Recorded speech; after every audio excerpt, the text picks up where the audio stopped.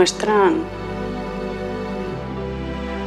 como si el origen de los gatos fuera un planeta muy lejano. En aquel planeta ellos no tienen el aspecto que tienen aquí, sino que van erguidos y son mucho más altos que nosotros.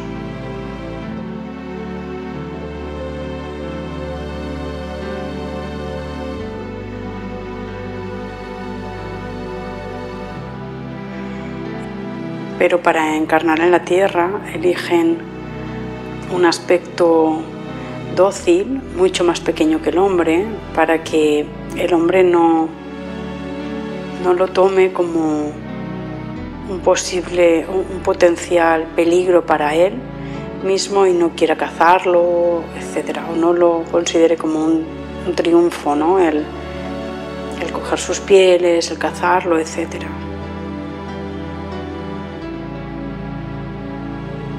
Los animales grandes, como el oso, el tigre, etcétera,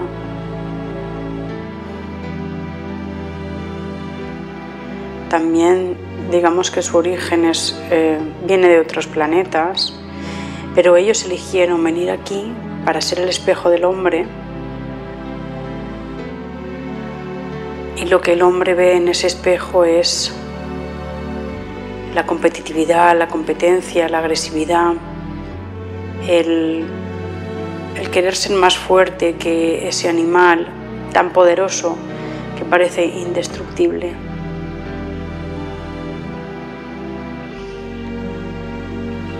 digamos que el, oso y los animales grandes, los animales que el hombre caza, son más grandes que él y parecen indomables y, parece que el hombre siendo tan pequeño no va a poder con ellos. Entonces, em, con armas que no, con las manos del hombre, sino con armas superiores a esos animales, eh, indefensos frente a esas armas, consiguen matarlos y consiguen dominarlos. También me muestran ballenas, etc.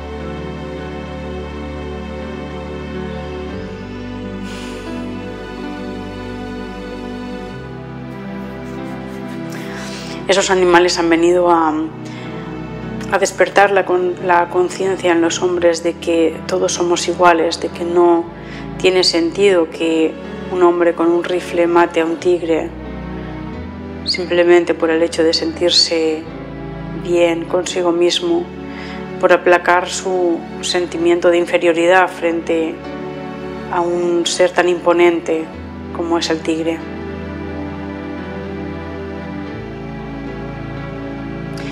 Esos animales han venido a decirle al hombre, a que el hombre sea consciente de que sus inferioridades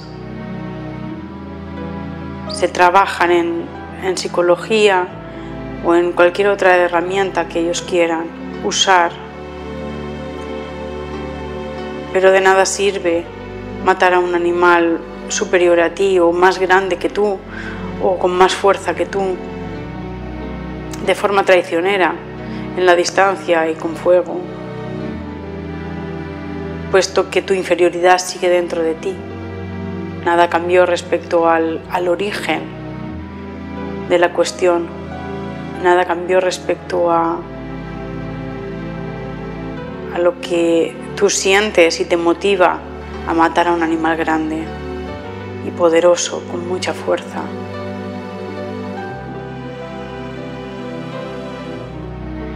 Por otra parte, los gatos. Los felinos en general. Me muestran los ojos claros, eh, vienen a, mirar a los ojos al hombre y conectar con su esencia, para extraer del fondo de su esencia el amor incondicional que hay dentro de, de cada ser, de cada individuo de cada humano.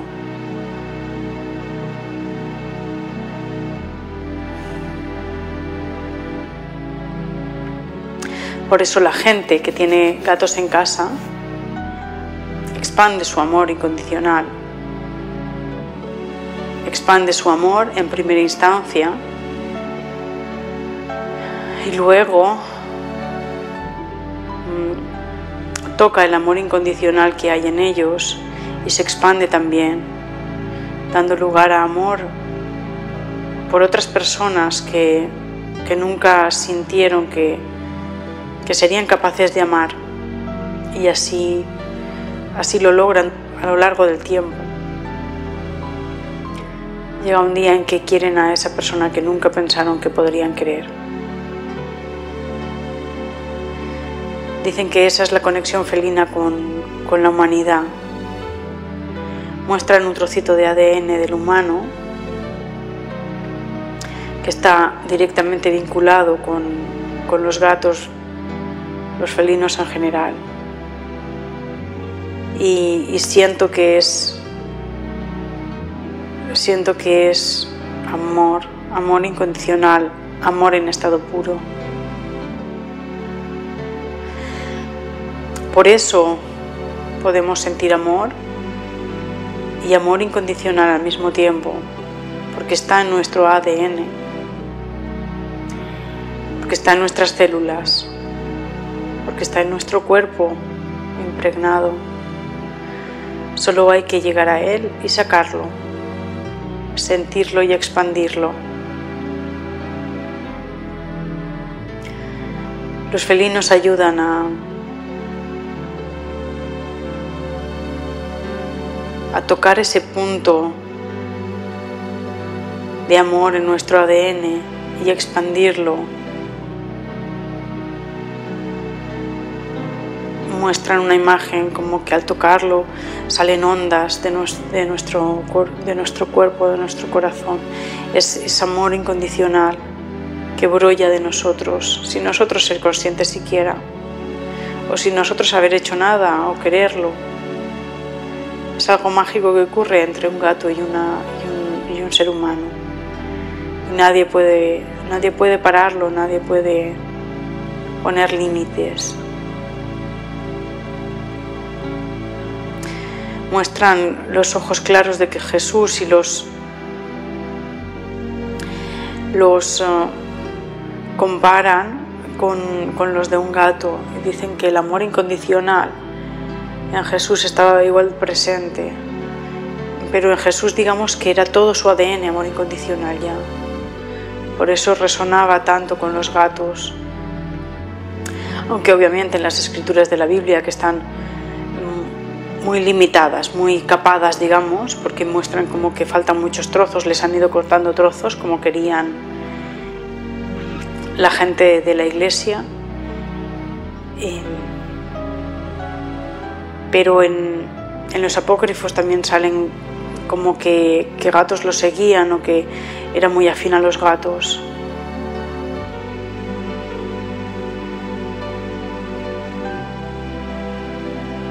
También me muestran como que los gatos también estaban muy presentes y eran muy amados y venerados incluso en la época de los faraones y de Egipto. Pero al final se desnaturalizó esta, esta civilización y, y se hay como una desconexión entre los egiptos y los gatos. Vale, pedimos que se restablezca todo lo que se pueda. Vuelven a, establecer esa conexión tan, tan profunda que había entre los egipcios y, los gatos. Ah, pasa gente que sentía eh, miedo por los gatos o que sentía temor por ellos, ahora pasa a, quererlos y, amarlos profundamente. Y pido que esto se haga, se expanda al universo en general. Los seres que sientan miedo por otros seres sin ningún sentido, sin ningún motivo, que se pueda sanar ya mismo, que se sane.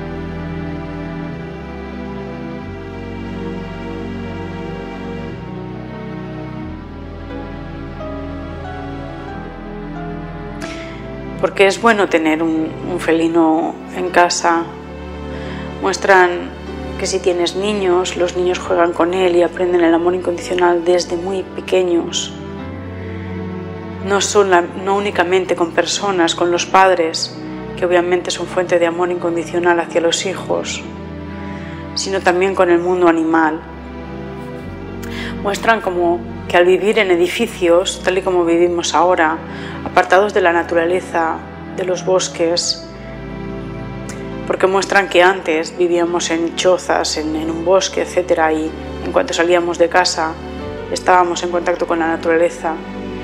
Pero ahora tenemos que ir a propósito a, la naturaleza. Entonces, digamos que las plantas que tenemos en casa y, los animales que tenemos en casa, en este caso los gatos, hacen de puente eh, o simulan estar en, en medio de la naturaleza y conectan a nuestros hijos con la naturaleza de una forma mágica, como si estuvieran realmente en ella.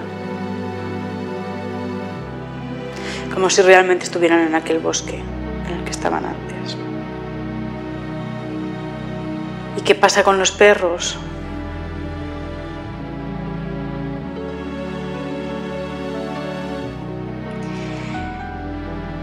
El perro siento que es una, un ser dócil que ama incondicionalmente al humano, lo aproxima al amor incondicional y, lo toca en su corazón, pero de otra forma distinta.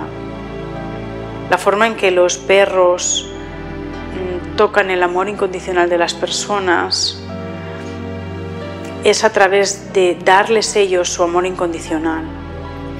Digamos que ellos son el espejo del humano, el espejo que les dice, mira el amor incondicional que soy capaz de darte y mira el amor incondicional que me estás dando tú a mí.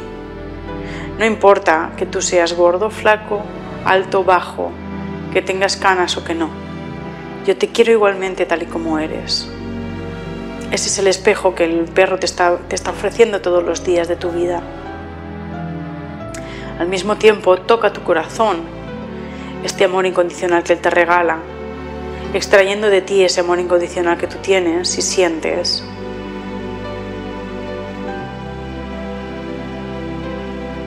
entonces eres capaz de amarle incondicionalmente a través de los tiempos, a través de las vidas.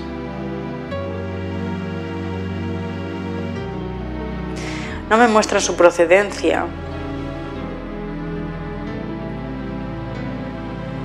Me viene más como que es una mutación de alguna raza, del lobo, digamos, el lobo tiene como más garra, más, más fuerza, es, más incontrolable. Sin embargo, muestran como que una parte del ADN del lobo se, se calmó, se hizo más dócil y fueron lobos que empezaron a, a estar más cerca de los humanos, a querer estar más cerca de, los humanos, etc. Y se convirtieron en una raza totalmente distinta.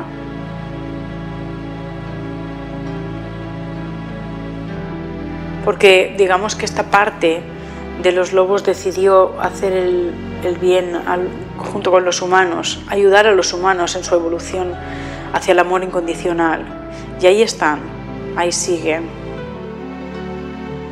junto con ellos, desarrollando su amor incondicional.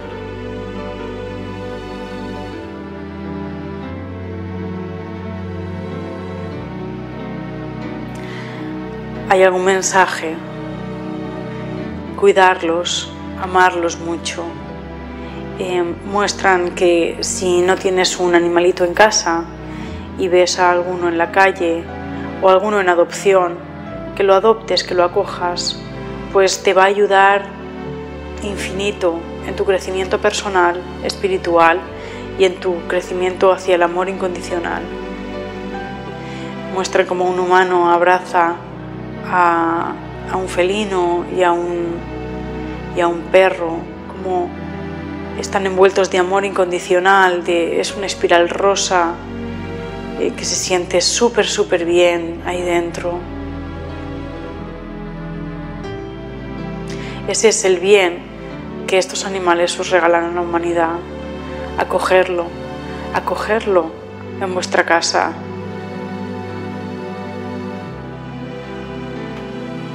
Acogerlo y sentirlo, porque es, el bien que el universo os regala hoy. Es un regalo del universo, amor incondicional en potencia. Un ser tan pequeñito que pueda tocar tu corazón y extraer ese amor incondicional que tú innatamente sientes, aunque hoy en día eres incapaz de localizar y saber expresar.